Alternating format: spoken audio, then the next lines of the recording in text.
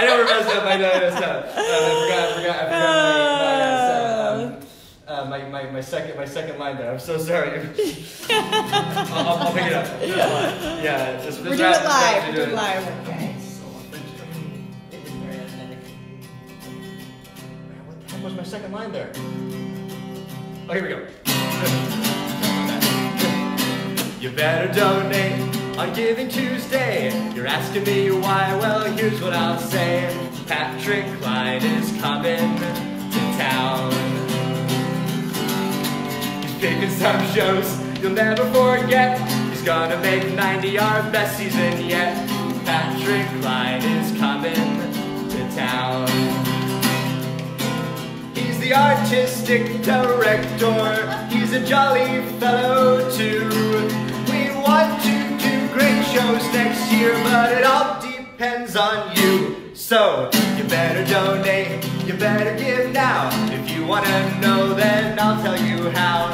Tap six five zero. I said a three two nine zero eight nine one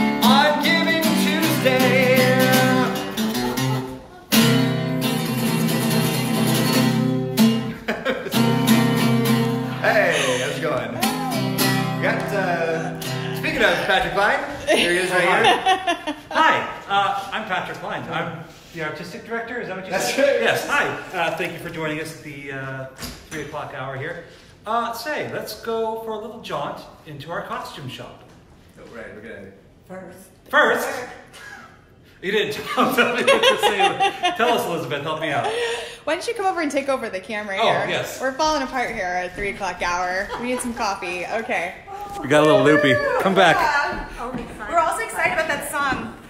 Okay, hi everybody. Welcome back to our three o'clock segment and happy Giving Tuesday. We are, let's see, three o'clock and we have raised just over $3,000. We're about $2,000 away from our $5,000 gift match. So all new gifts to Palo Alto players made by midnight tonight will be matched dollar for dollar up to $5,000. Yeah, so donate now, paplayers.org backslash donate. As Johnny said, I can't sing it like him, but 650-329-0891. Stephanie's here to take your calls. And yeah, there's multiple ways for you to give as well. We also gratefully accept gifts of stock, company matching gifts, distribution from IRA, so many ways to give and show your support. Or give us a shout out on Facebook. Tell us what you love about Palo Alto Players. And speaking of telling us what, telling us what you love about Palo Alto Players, I am joined here by a very special guest, Annette Glanckopf. Hi, Annette. Happy hi. Giving Tuesday. It's good Yes. to see you. Grab that and hold it up so everyone Yeah, can see all right, it. great. So, hi everyone, I'm Annette Glanckopf, as Elizabeth said, and I cannot beat that wonderful singing with Johnny. Yay! But Yay. I'm, I'm on the board of directors, and I'm here today to support Palo Alto Players, this wonderful organization for community theater. And in this time of Thanksgiving and thinking of all our blessings, it's also time to think about giving back. So if you enjoy community theater with community volunteers and community actors, please join me and support Palo Alto players in this giving season. As Elizabeth said, we're trying to raise $5,000. We're almost there, but with your support, we can go all the way. So I would appreciate your support today. And I'd like to close with a quote from Anne Frank. No one ever gets poor from giving. So here's all the information you need. And back to Elizabeth. All right. Well, thank you for joining us, Annette. We're so happy to have you on our board and supporting. And um, Annette is also very um, in, involved in our community here in Palo Alto. We're so grateful to have um, dinner supporters like you. And um, and you also are very happy to wear elf hats too and get in the spirit of giving with all of us. So. So thank thanks you. for your support yes, out. All right. Okay. Okay, thanks Annette. Well, well, thanks for stopping by. We Here we appreciate are. you being here. Off I Okay. what do we have next, Johnny? What's going Well, on? Okay. We're going to be uh, actually taking, uh, we've, been, we've been here for the whole day so far, but we're going to be taking a little stroll over to our costume shop. If you'll uh, just follow us here, we're going to be meeting with uh, Pat Okay. Tyler and Oh, Sharon going Penn. for, okay, we're going for a tour. Yes, sure are. First, let's look at behind the scenes. Ooh. Okay. All right. Yeah. We're, uh, we're, uh, we're taking off. There's We're going Lori to right a new there. Location. here. Yes. Yeah, go ahead. Yeah. Nice day out here. All right, we're gonna step inside our costume shop here at Palo Alto Players. Okay, We're who gonna do we start have? the center. Okay, I'm gonna stay with my good side here. Okay. All right, And well. what do you know? Oh my gosh! Oh, uh, hi. Sharon! Sharon and Tyler, what are you doing here? We didn't even see you there. Like, hanging out in the costume We are. We shop? love it. We the live here. shop. We You do. live here. Yeah. Some days it feels like It that. does. Patrick Oh. let us take our handcuffs off, but usually he's got us. There's tunnels between every theater, and that's where all. the That's where we all are. go. No one knows this. See, we were we were saying today that there would be some secrets revealed. That's so, you know, the more you know.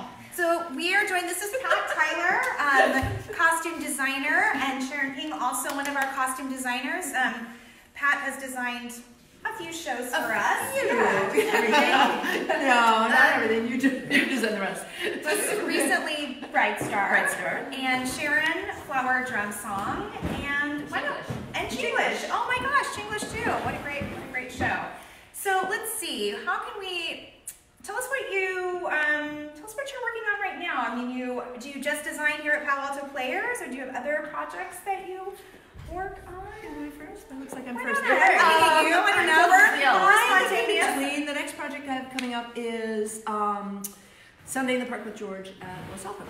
That's Oh, so So, exciting. yeah, it's going to be really, really fun. It's going to be quite, quite fun to, to recreate that painting. So, yeah. Okay. so that's not that's Los Altos. Okay, that's all right. We like to share. We like to share. How about you, Sharon? Um, I'm working on Newsies over at Hillbarn Theater. We opened this weekend. Yep, so I work a lot with the ballet and uh, the opera.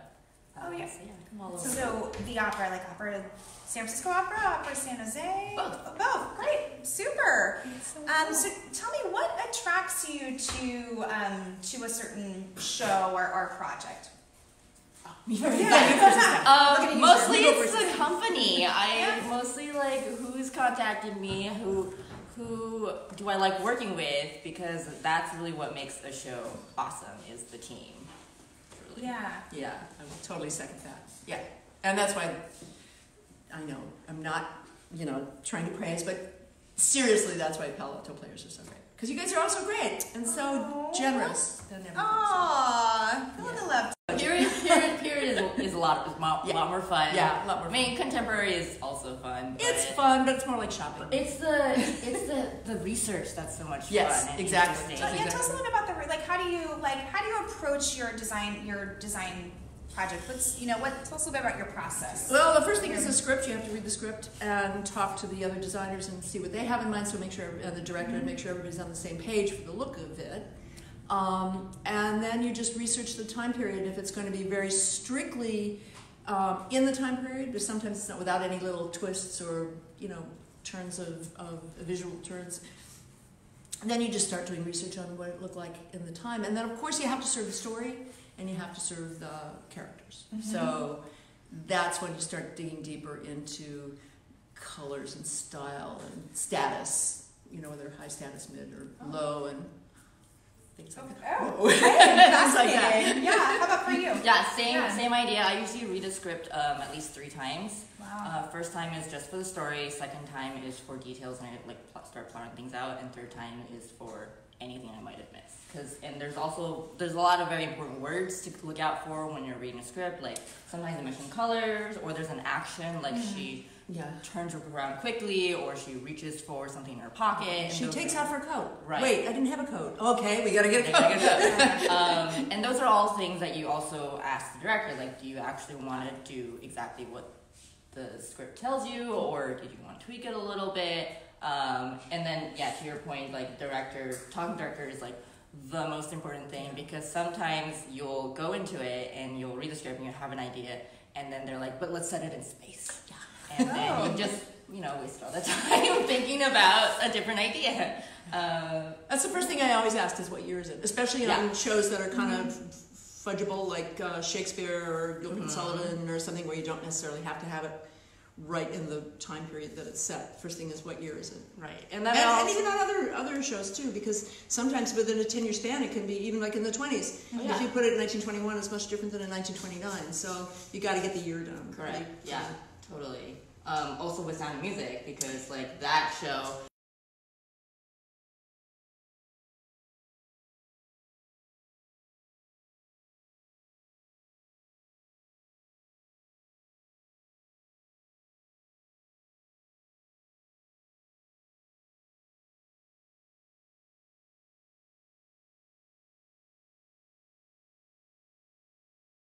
It's recording. It's recording still, but we should probably move into the other room. Okay. So we're gonna take a little Okay, rehearsal. So let's, let's walk and talk, and we'll be joined by another. Hi, Gloria. We have another friend joining us, so let's move into the Back into the rehearsal back room. into the rehearsal hall. We're gonna walk and talk. All right. Sorry, No, it's my friends. It's all. It's all recording. Still oh, recording. Still. Still recording. Sorry. Tell us a secret story while we're walking. Secret Story. Okay, so this is our little welcome. Come join us on our in our stage. How did you um? How, well, I'm interested in how people you know find their way to a career in in the theater. Um, I actually mostly grew up in the theater. Um, I grew well. I was born in Taiwan, and then we moved to Washington State when I was four and a half. And then, like growing up, I always wanted like to be part of theater, sort of, because um, everyone on my father's side are professional musicians or conductors or singers. Um, so I kind of was grown up in that kind of environment. Um, but the I lived in this little country town where we didn't have a lot of other kids who were interested in theater, so there was never enough people who signed up for the drama class at the recreation center. So when we moved to California, when I was in fourth grade, I was really excited to find find a PYT. Oh Uh, yeah, that's and great. I joined that and like did that forever. um, but started hanging out with the backstage people more, and I was like, oh my god, I really love makeup and the effects makeup, and because that's just like another layer of character. Um, and then that that department was always next to the costume department, so we kind of all like intermixed. Um, and then I also grew up watching my mom sew. So after um, high school, I was like, what am I gonna do? I was thinking of going into like biology, and then I was like, I'm gonna do that kind of degree. So on a whim, I mean, I was like, I didn't want to do Make- research make forever. money, I didn't want to teach. I don't know, but I knew I was always gonna be always gonna be creating. So I was like, on a whim, I was in school and got in, and then um, because I had been doing theater all beforehand after I graduated, people remember me and just started. yeah. Sign her up. Yeah. yeah. Support But- local theater. But I kind of fell into it because I, I really enjoyed it. And um, a bunch of years ago now, 10, 12, well, probably more like 15 years ago, I started costuming actually when my kids and then Children's theater for both of you. yeah, and then went on to do Gilbert, a lot of Gilbert and Sullivan, a lot of um, at uh, Lyric Theater in San Jose, and did a lot of Victorian stuff. And just really loved it. Really, really loved it. I think, and I just wanted to say, I think the hardest part about where we're at sometimes is something. I mean, here at Lucie Stern, we get this great costume shop with great tables and. You know, it's it's not like fully stocked, but everything is. You can come in here and you can just make it your work space. A lot of theaters, small theaters, don't have that, and we do what's called dining room table Oh, yeah. Yeah, yeah, yeah. and you got to sew on your dining Ninety room percent of my apartment is definitely just for work. Yeah, if you live with someone, they have to be very understanding. My husband picks threads off his clothes. Right Supporting But I think that both of us having been on the stage and you still being on stage gives us a really interesting perspective. Yes, I do too. I agree with that. I think it's you make a you're you're a much more mm, aware costumer. Right. Um, I also get in fights with actresses because they're like, I can't wear these shoes. And I'm like, you know what? I have worn those shoes. There you Yeah. go. Dance that dance. yeah, yeah. So. It's possible. I mean, I was I did have a legit. I was a theater. I was an art major and a theater Yeah. minor, so I did I did go the you know Did the whole thing. BA route. but At the time, I wasn't actually focusing on costume design. More on theater. More on that. Do you have a favorite? Do you have a favorite um, show that you've designed for? Oh God. This is like That's picking- always this over hard. Everyone always asks this question. Always so hard. I love- Tarzan, Bright Star. Tarzan. The Bright Star. All of them here have been wonderful. Um, I love working on Tarzan, except making 400 yards of four-way stretch fringe. Um, I loved uh, Shakespeare in Love because that was such a great period to costume for. So yeah, I just you know all kinds of Fun things. Sounds like the ones that are the most fun are probably the ones that are the most challenging, right? I mean, that they, when Well, you're talking yeah. about period and. I. You know what? I think it is because it's like it kind of works your brain. Yeah. And like part of like the cool thing is like having something in your imagination and then making that real. Real, Like yeah. that that like the the fortune cookie boxes from uh, Yeah. Flower yeah. Drum drove us all crazy. I'm sure you all remember that. But I do, they and I were did work on so cool. they were so fun when they were done. Yeah. That's great. And available for no. Yeah. They're in the store. Yeah, we've already given away lead lamps this morning. I guess if you wanted a, uh, um, a fortune cookie Box. Well, I- box, I actually you have could to- arrange that too. Into the Woods was fun because Into the Woods approach on the costuming was I started it by going trying to go back to the original fairy tale Mhm. as a source for the costumes because we were doing it as all different it wasn't in one particular era. So that was fun. That's that's always a really fun show because when I did it, and Yeah, you can do it all did kinds yeah, we kind of like pull patterns from all across cultures. Yes, yeah, yeah, yeah, yeah. Together, like I, the research is always the fun part. Yeah. Um, like I think there's this part of uh, theater is all about like, um, I think making connections. Mm, Um, and then I think for us, it's finding the connection in history and then. Well, we are so very grateful to have such wonderfully talented costume designers um, right here in our community. And today is really about supporting you, our, our local artists. I mean, when Well- you give to Palo Alto Players, you are supporting, You pay us. supporting our local talent. So um, we hope that you will be inspired to, to give a gift today. And um, yeah, and then we'll look forward to seeing your next projects on stage. Yeah, so Newsies opens this weekend at Hill Barn, and you've got Uh, um, Yeah, Sunday in the Park, but that's yeah, not be in the spring. In, the spring. Okay, and And then Steel Magnolias is in June, July. okay. Yeah, we're all about supporting our neighboring theater company, so you feel free to That's so plug great away. about this area too. Yeah. yeah. We do a quick plug? Or- or should Yep, we- we're, we're gonna be, Okay. well, yeah, we've got, well, I'll have one more to send us out Okay, too. perfect. So, well, thank you both so much for Sure, being here. thanks And, inviting um, I think we have another guest that's come by. Let's welcome, um, We could. yeah, you can, uh, I like yeah, we're all I know we're all just being so great. We're looking so festive today. Hey, Gloria, how are you? Look, we're all wearing, we are all wearing the Palo Alto Players colors today, and we didn't even, you know, we didn't even talk about it. This is my good friend Gloria Hom, and um, Gloria, you and I met. Um, did we meet at Rotary? I we met at Rotary. Right, Um, but how long have you you've been coming to Palo Alto Players for a few years? since uh, I think 1963. And Palo Alto Players at that time was actually cheaper than the movies. Oh. The tickets were just really, really reasonable, but it was wonderful, and I going. I kept uh, a subscription going till now. It's a best. It, it, it, it's the best value for the money. There's there's nothing to compare. You know, local theater is just wonderful. It does so much for our community, and it it enriches our lives, and it's just great. Yeah, well, we are grateful to have supporters like you to make the work that we that we do possible. And do you have a um, do you have a memorable show? I mean, that's what 40 years of players, and it might be hard just to pick one. Do you have a few shows that kind of stand out to you that you've enjoyed? I think you, we should have rehearsed this before. Well, it's, Well, all, it's on the we're, we're show, live. take It's two. all it's all live and spontaneous.